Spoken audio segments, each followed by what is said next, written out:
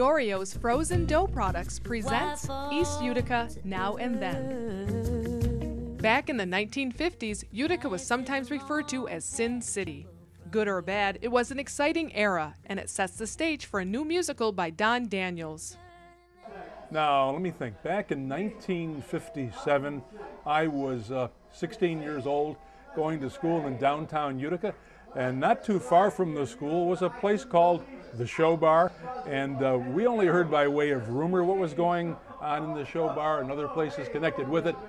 Uh, the people behind me are now reenacting what the Showbar was all about.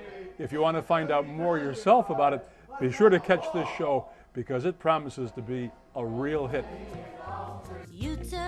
Well, we're in rehearsal for the Showbar, which was a elegant club in Utica in the 1950s. And it tells a story about what happened to Utica in the 50s. And um, it's a just, a, it was a, a, burlesque bar with great entertainers and uh, a wonderful place to go and, and, and hear great music. And that's what we're trying to recreate, the wonderful music of that era. Now, why would you pick that story? Well, I, um, I was fascinated by, by what happened to Utica. Utica was a bustling town at the time, and after uh, the Fisher investigations, Utica kind of went down a lot, and, and uh, uh, so many people always said, you know, it was because of the investigations that Utica lost all of its uh, charm and, and bustling and business. And uh, and, and so it was just fascinating to me growing up in that period mm -hmm. and seeing how the town did change after these investigations.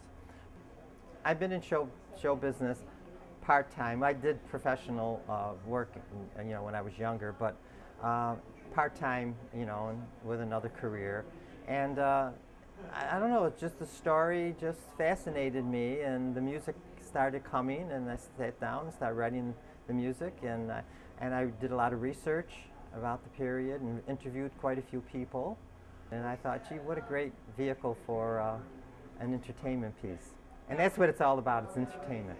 There are only a few tickets left for Showbar, a dinner theater at Grimaldi's Restaurant, October 4th, 5th, and 6th. Call 732 7011. We're gonna set the stage for you.